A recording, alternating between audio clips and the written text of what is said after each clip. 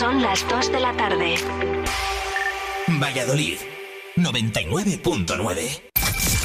Vive Radio, servicios informativos.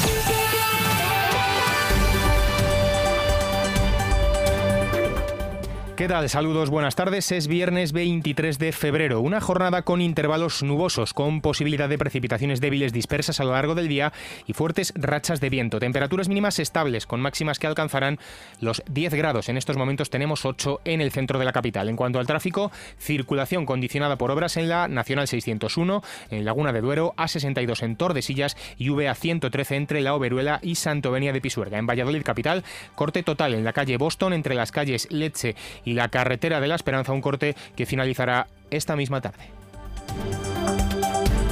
Esta mañana ha tenido lugar la reunión del Consejo de Administración de la Sociedad Valladolid Alta Velocidad con la participación del Ministerio de Transportes y Movilidad Sostenible, la Junta de Castilla y León y el Ayuntamiento de Valladolid. Al terminar este encuentro, tanto el ministro Óscar Puente como el alcalde de Valladolid y el consejero de la Junta de Castilla y León, Juan Carlos Suárez Quiñones, han atendido a los medios y expuesto las diferentes alternativas tratadas en la reunión. El exalcalde y ministro de Transportes ha presentado un estudio técnico y económico con un coste de 1.570 millones de euros y 19 años de obras para el soterramiento. Lo ha calificado de imposible. Puente ha ofrecido al actual edil del Ayuntamiento de Valladolid dos opciones para resolver la situación. La integración ferroviaria o disolver la sociedad Valladolid Alta Velocidad. Si uno se sienta en una mesa a dialogar sobre una cuestión como esta, lo mínimo es poner papeles, poner realidades, poner cifras, poner plazos.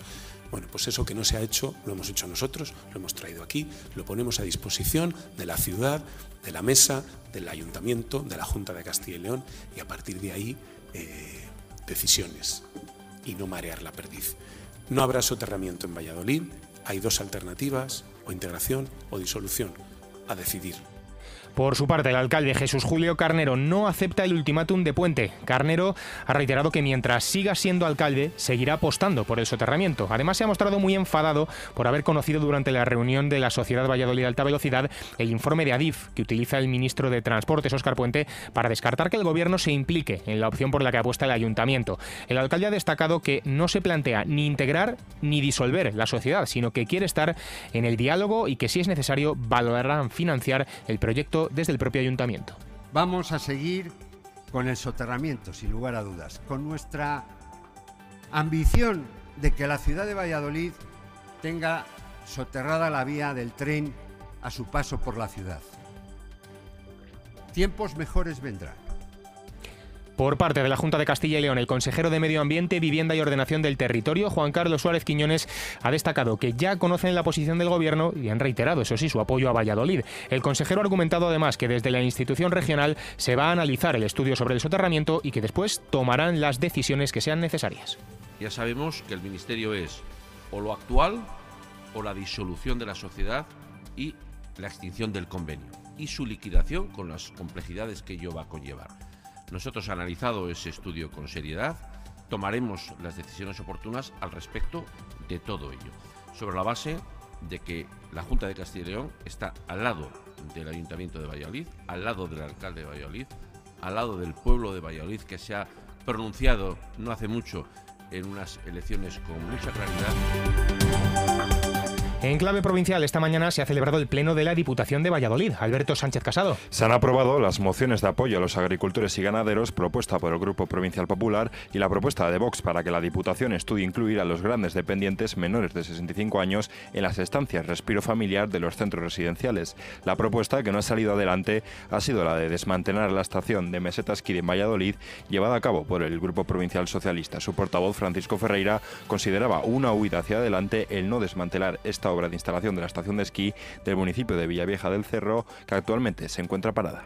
Ustedes están tomando la decisión que todo siga igual. Eso es una huida hacia adelante. Lo que no se están dando cuenta es que lo que hay ahí, si ya valía poco entonces en el 20, cuando nosotros llegamos aquí dijimos vamos a hacer algo con eso, vamos a pensar algo que estamos esperando contestación, nadie nos contestó. Eso se está deteriorando, eso ya no sirve para nada. Pero ustedes piensan, según ustedes y, el grupo Vos, que lo mismo hay una empresa privada, se puede hacer algo. Bueno, eso es una huida hacia adelante. Además, hay que lamentar el fallecimiento de un vecino de Arroyo de la Encomienda de 50 años tras caer desplomado esta mañana en la avenida de Salamanca. Continúa la información regional en Vive Radio. Vive Radio, servicios informativos con María Cristóbal. Los bomberos y la policía científica han empezado a acceder al interior del edificio incendiado en el barrio de Campanar de Valencia para tratar de localizar a posibles víctimas, según informan fuentes de la investigación. Los bomberos han entrado ya hasta la cuarta planta del inmueble calcinado, mientras la policía científica ha logrado acceder ya al mismo y están revisando planta a planta. Antes hablamos de la actualidad de Castilla y León. El consejero de Economía y Hacienda, Carlos Fernández Carriedo, ha registrado esta mañana en las Cortes el proyecto de ley de presupuestos para 2024, que recordamos será histórico, con más de 14.500 millones de euros y da inicio así a su tramitación parlamentaria. Ha vuelto a defender el carácter eminentemente social de los presupuestos, con 8 de cada 10 euros en consejerías de sanidad, educación y servicios sociales. 2.900 millones para atención especializada hospitales, más de 1.500 millones para atención primaria. En educación, la gratuidad de libros de texto, perdón, la gratuidad de la educación de 0 a 3 años cuesta 51 millones de euros. Esa es una cifra importante. Este año se completa la educación de 0 a 3 años. Saben ustedes que hace dos fue la educación de 2 a 3 a la espera de conocer el detalle de las inversiones reales por provincias, que este año ascenderán hasta los 1.090 millones de euros.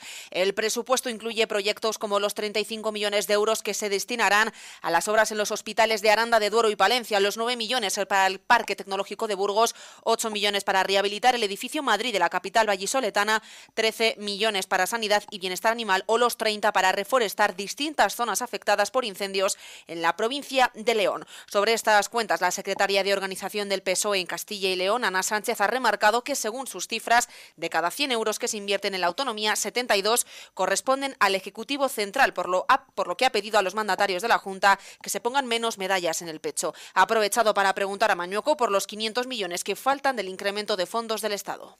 Si el Gobierno de España este año manda 1.200 millones de euros más y el presupuesto de la Junta solo se incrementa en 753, ¿dónde están los otros 500 millones de euros que el Gobierno de España pone a mayores? ¿Qué hace Mañueco con el dinero de los castellanos y leoneses? ¿Caja o corrupción? La, la afirmación no es baladí. ¿Caja o corrupción? Total de 766 jóvenes se incorporan al sector agrario en Castilla y León a lo largo de 2023, una cifra que supera el compromiso de la Junta de integrar 650 jóvenes anuales y lograr que exista relevo generacional en el campo, fundamental para garantizar el futuro de este sector. Así lo informaba el departamento en un comunicado recogido por ICAL. Las ayudas de la Junta de hasta 100.000 euros por beneficiario han contado con un presupuesto de 46 millones y medio. Y de hecho, hoy el presidente de Asaja en la comunidad ha remarcado que Castilla y León es el granero de España. Señores, Castilla y León es el granero de España y hoy no podemos producir trigo si el trigo está a 200 euros la tonelada y el abono está a 600 euros. Así trabajando nos arruinamos. El consejero de Agricultura, Ganadería y Desarrollo Rural, Gerardo Dueñas, ha participado en las novenas jornadas de jóvenes cooperativistas organizadas por Unión Regional de Cooperativas Agrarias de Castilla y León, que se celebran en la localidad burgalesa de La Vid. Ha comentado que a lo largo de estas jornadas se ha mostrado especial inquietud en aspectos fiscales, aunque sin perder el foco en la falta de relevo generacional.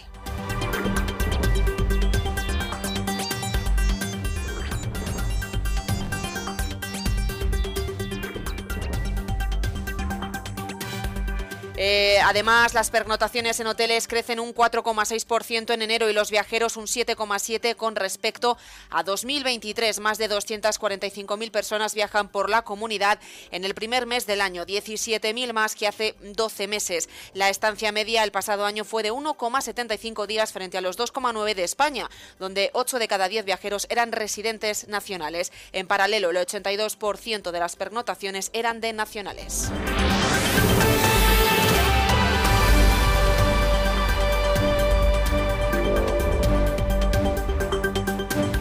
Dos apuntes sobre sindicatos. Comisiones Obreras ha presentado un requerimiento ante la vulneración de los derechos fundamentales por parte de la Consejería de Sanidad. Anuncian dos posibles demandas por mala fe negocial y por la injerencia y parcialidad de la Administración en el proceso electoral del SACIL.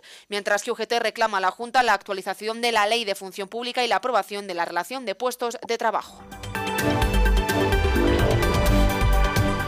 Integración o disolución de la sociedad Valladolid Alta Velocidad. Estas son las opciones que plantea el Ministerio de Transportes al Ayuntamiento de Valladolid, según lo anunciaba hoy su responsable, Óscar Puente. La viceconsejera de Acción Cultural Mar Sancho ha presentado hoy en el Palacio de la Isla en Burgos los 10 títulos finalistas de la vigésimo primera edición del Premio de la Crítica de Castilla y León que convoca el Instituto Castellano y Leones de la Lengua para reconocer la calidad literaria de un libro publicado durante el último año con un autor vinculado a la comunidad. La reunión final del jurado y el anuncio del fallo se tendrá lugar en el Palacio de la Isla el próximo 20 de marzo. Esta selección de 10 obras finalistas para el Premio de la Crítica y en la reunión del jurado y el propio fallo de la misma va a tener lugar en este Palacio de la Isla en Burgos el día 20 de marzo. Ese será el día en el que conozcamos el ganador.